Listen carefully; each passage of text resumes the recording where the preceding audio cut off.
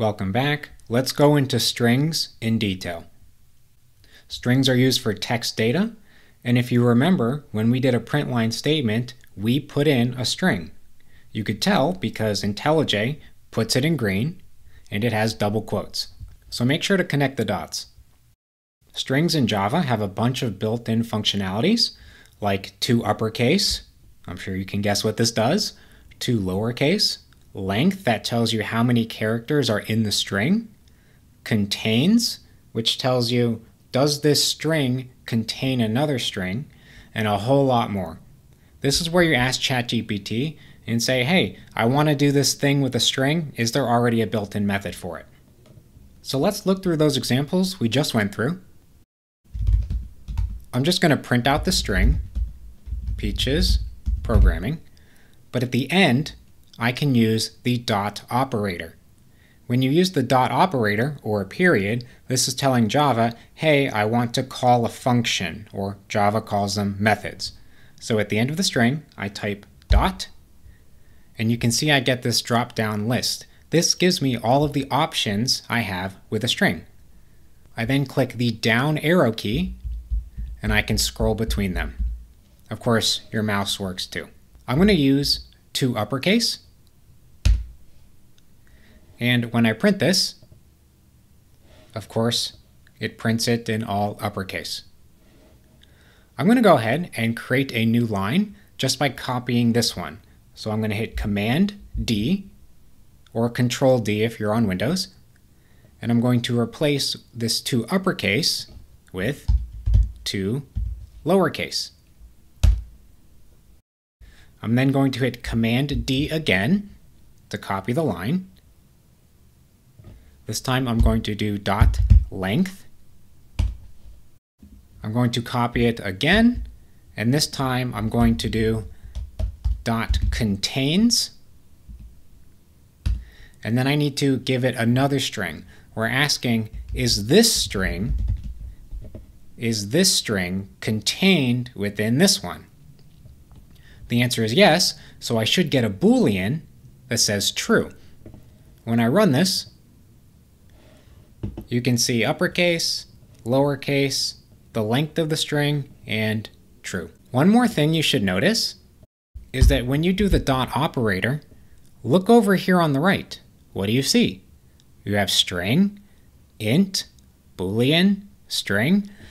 What this is telling you is, at the end of doing this function, what do you get back? When you do length, what do you get back? You get back an integer. How many characters are in the string? This is your return type of the method. We're going to talk about this more in the future, but start noticing it now. Contains, for example, returns a boolean, either a true or a false. To lowercase returns a string. It's still a string, it's just a different string. You can do the same thing in a different way. So if I say string name is equal to whatever you want, I can then print name so this is the variable name I gave it, and if I call the dot operator here, I can do the exact same thing. So I'm going to say to lowercase, and it works exactly how you would expect it. However, this is a very important point. If I print out name again, so look what we just did. We said name is equal to this. Then we said name to lowercase. What is this going to print out? Is it going to print out the name or is it going to print out the name to lowercase?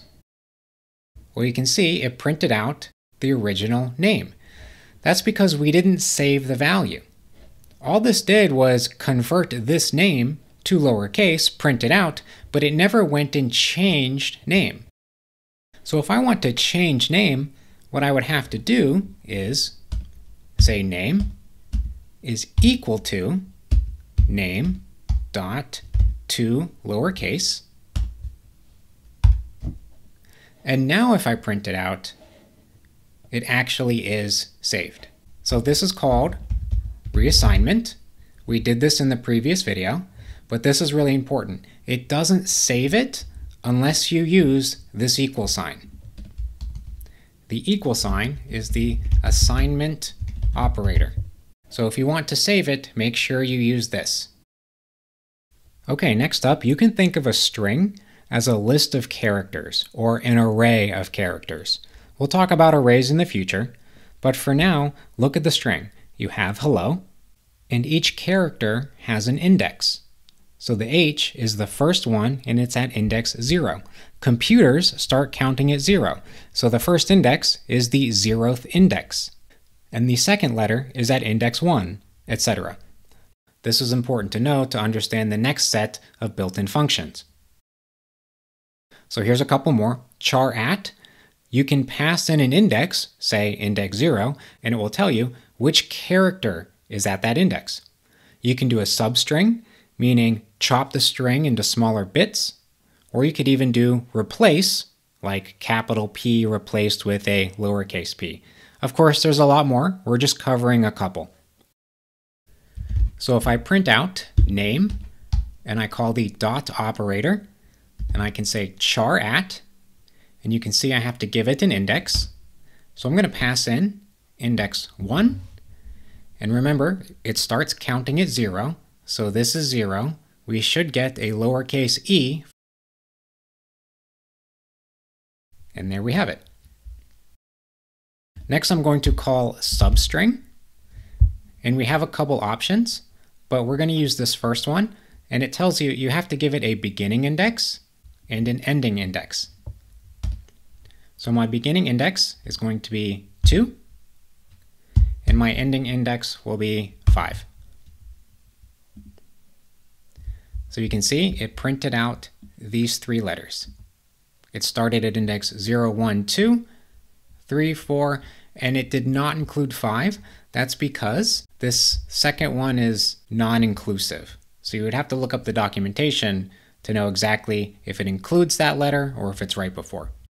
Another thing you can do here is you can say name dot length, and that prints it all the way to the end of the string.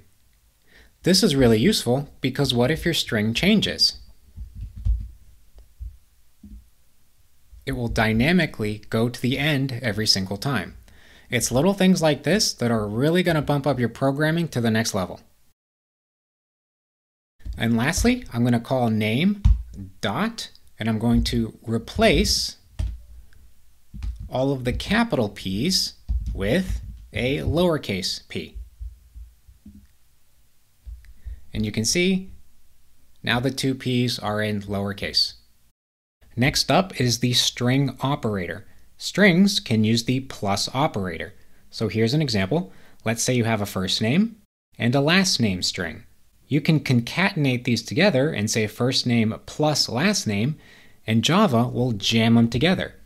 This is known as concatenation, or you can do the exact same thing but use a function called dot .concat. So let's try it out. I'm going to have a string, first name, make sure to put it in camel case, a string, last name is equal to, and then I'm going to print out first name, and I'm going to use the plus operator and then last name. When I run this, I get exactly what I'm expecting. Notice it does not give you a space. You have to include that yourself. So here's how you could do it. Add in another plus operator, and in between, put in double quotes and a space. You can do the exact same thing, but instead use concat. This works the same way, but instead calls an explicit method. Notice, when you look at concat, you have to pass in a string, that's what we give it, and then it returns another string. What this means is we can call concat a couple of times. So if I do concat with a space, I can then call concat again with last name to get the exact same result. Okay, warning, this is where things get weird. This is probably the first thing you might not understand on your first try. So strings can be null or they can be empty. A null string literally says null. An empty string has both double quotes but nothing in it. The best analogy I can give for this is think of a box. A string is like a box, and then inside the box is a value. That's the actual string. A null string has no box. You didn't even get a box.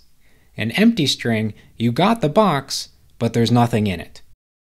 On a more technical note, a null string means that there is a null pointer, meaning there is no pointer to anything in memory. So you have a null string in memory, but it points to nothing. An empty string has a pointer to something in memory, but after you successfully look it up, there's nothing there. So you have an empty string, it does have a memory address, you go over to the memory address, but there's nothing there. And here's another example from Stack Overflow of trying to explain the difference between empty string and null. Empty string means the string is just length zero. Null means it's not even there. And FYI, this was really just an introduction to get us started. There will be more things to learn with strings. And now it's time for you to do your homework. Good luck.